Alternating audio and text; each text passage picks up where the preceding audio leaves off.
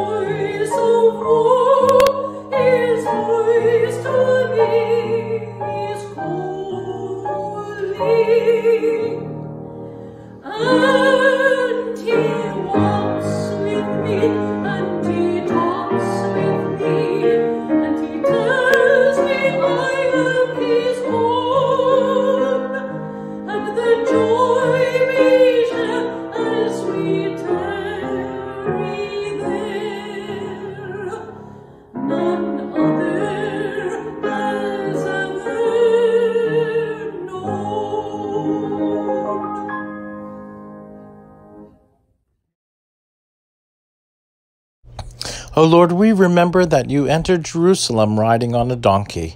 The crowds waved palms welcoming you. May we welcome you into our hearts this date. Amen.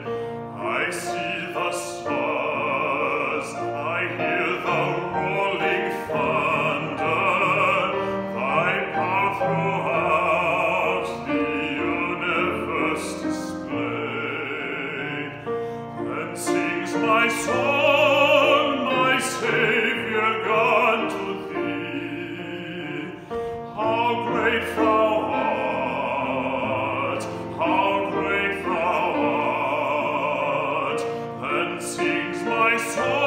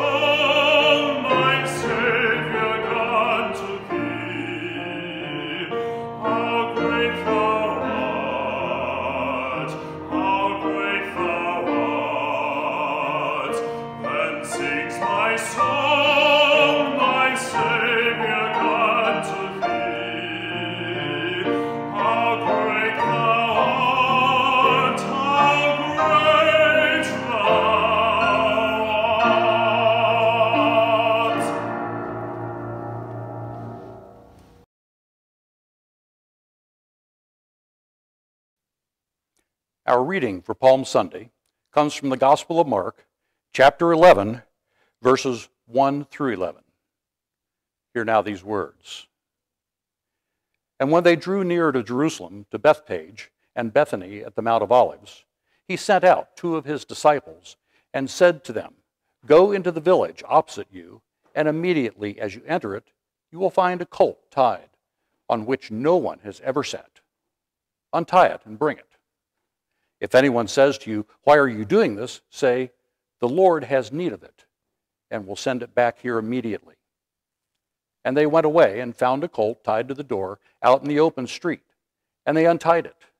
And those who stood there said to them, What are you doing untying that colt? And they told them what Jesus had said, and they let them go. And they brought the colt to Jesus and threw their garments on it, and he sat upon it. And many spread their garments on the road, and others spread leafy branches which they had cut from the fields. And those who went before and those who followed cried out, Hosanna! Blessed is he who comes in the name of the Lord. Blessed is the kingdom of our father, David, that is coming. Hosanna in the highest. May God bless to our understanding this reading from the Holy Word.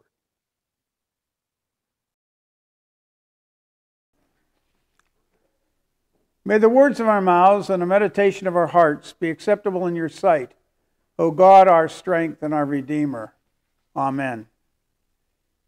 We welcome you today. This is Palm Sunday or Passion Sunday. There were two men sitting next to each other when one began bashing the University of Kentucky basketball program. The other, who was obvious a, a UK guy, sprung to his feet started yelling at the University of Louisville guy and offering appropriate gestures. After things had settled down, the nurse separated them and reset their lines. They were both at a dialysis unit at patients.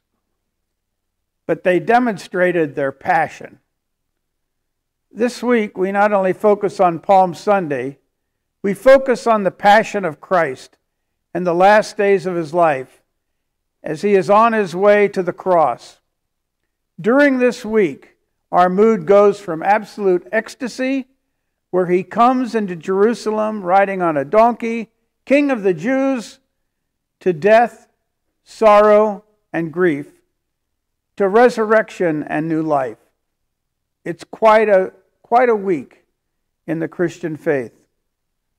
The Lenten season, we see, we see this, the highlights of our faith exemplified. Our assumptions of life are turned upside down. The dead bones of Israel are reknit. Or as Ezekiel said, them bones, them bones gonna rise again. A gracious rabbi breaks the barrier between men and women, between Jews and Samaritans.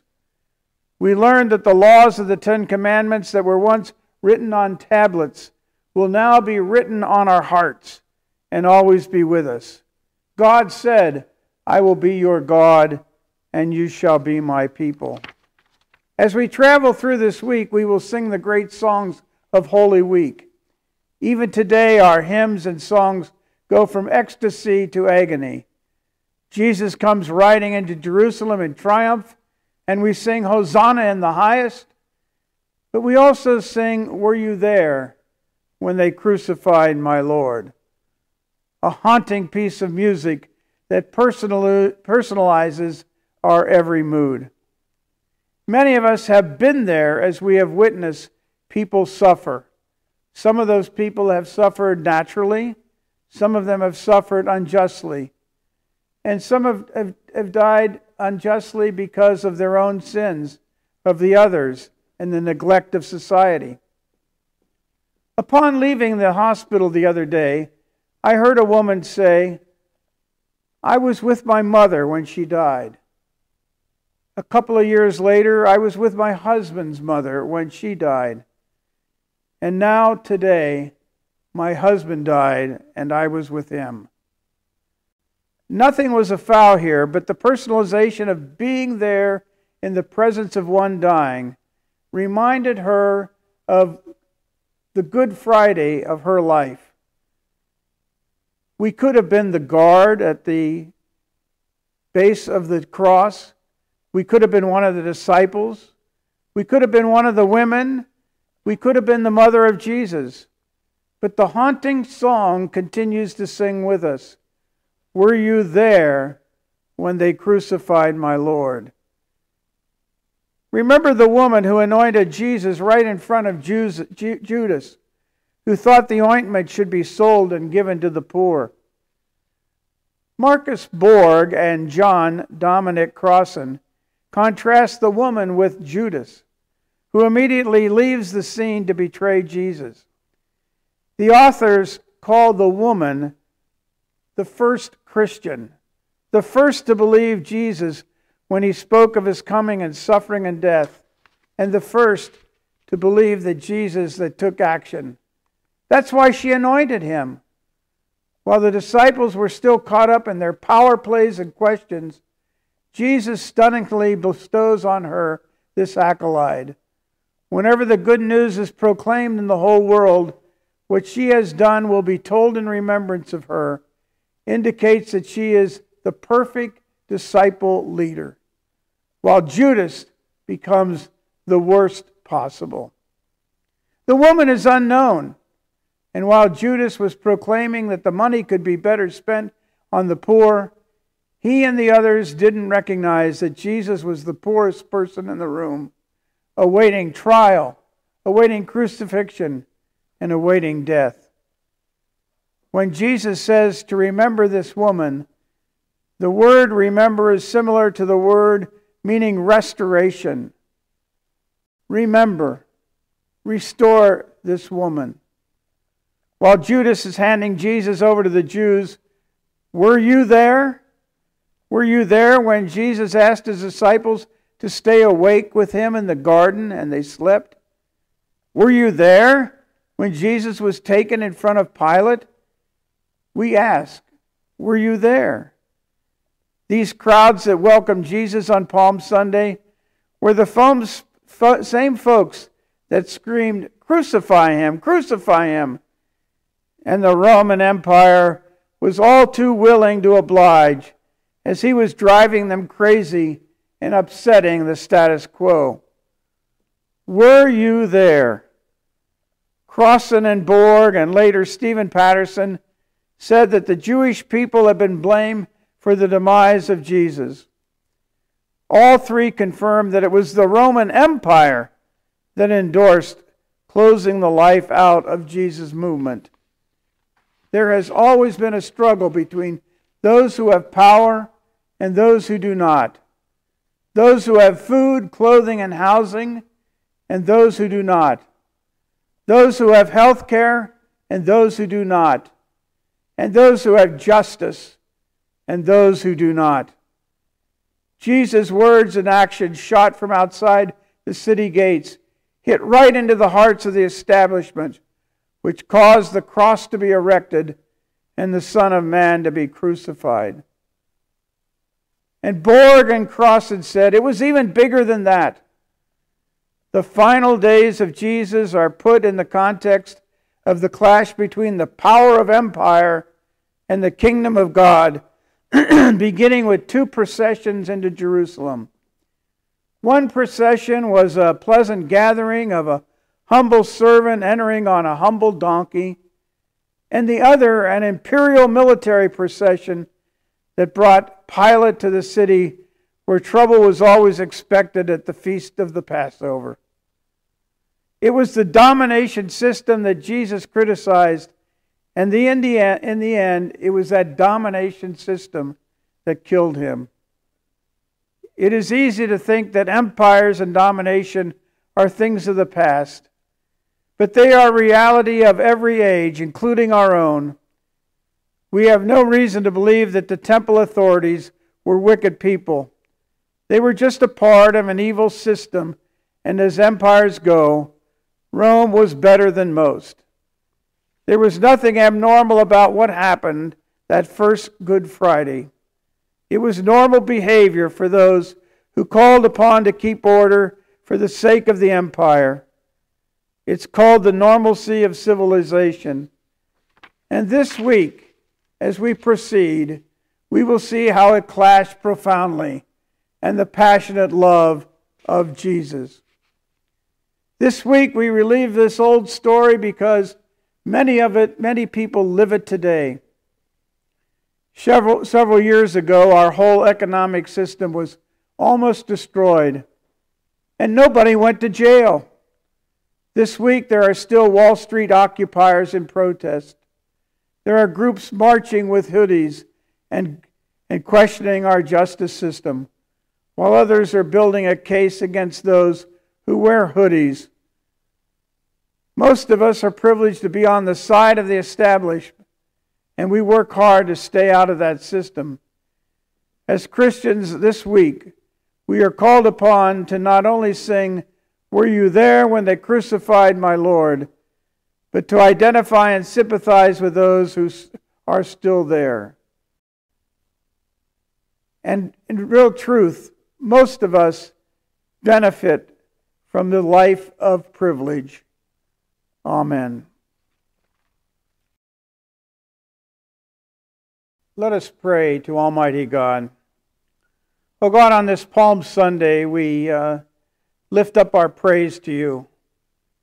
We thank you that you have given to us a humble example of your gracious love. That Jesus would come into town riding on a donkey, not a white horse, not a military uh, uh, gesture but a way in which to show his humility and his graciousness. Oh God, on this day we remember. We remember Palm Sunday, but we also remember personally our own loved ones, perhaps the loved ones who have gone before us. And on this Palm Sunday, we remember the many wonderful memories of the times when we were together. We thank you for the church that causes us to remember the waving of the palms, the beautiful lilies, the wonderful um, children singing Hosanna in the highest. And so we come to you on this day, thanking you for all of life, uh, but especially this important day that we call Palm Sunday. And now we pray the prayer your Son taught us, saying, our Father, who art in heaven, hallowed be thy name. Thy kingdom come, thy will be done, on earth as it is in heaven. Give us this day our daily bread, and forgive us our debts, as we forgive our debtors.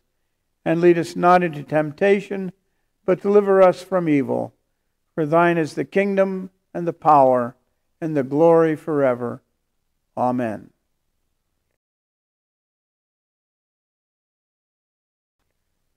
And now may the peace of God, which passes all human understanding, be and abide in each of your hearts this day and forevermore. Amen.